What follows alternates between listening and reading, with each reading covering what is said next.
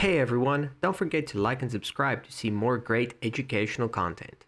Hello, fellow adventurers. Welcome back to Adventures in Literary Analysis. I'm Mr. D, and I am here to be your guide on this incredible journey through the world of stories.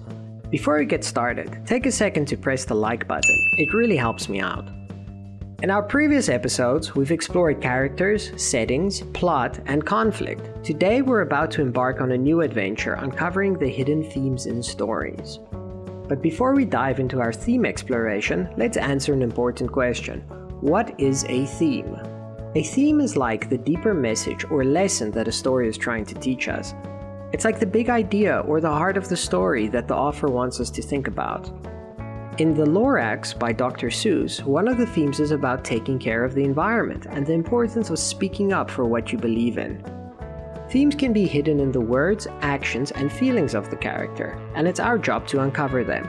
So, how do we find these themes? Well, you have to put on your detective hat and look closely at the story. Themes can be about important things like friendship, courage, kindness, or even the consequences of our choices. In Charlotte's Web, one of the themes is friendship.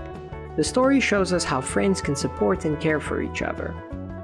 When you read a story, think about what the characters learn, how they change, and the messages they share with you. Now, let's talk about the message of the story. This is like the golden nugget, the aha moment when you discover what the story is trying to say. In The Little Engine That Could, the message is all about determination and believing in yourself. The message of a story can help us understand the world better and even guide us in our own lives. And now it's time for our activity. Choose one of your favorite stories and try to figure out its theme. Share your theme discoveries with us. I'm excited to hear about the messages you find in your favorite books. Well, that's a wrap for today's adventure into the world of themes. Don't forget to like and subscribe so you won't miss our next episode where we'll continue our exploration of the magical world of stories. Happy reading and storytelling, my friends. And remember, every story has a meaningful message waiting to be discovered. See you in the next episode.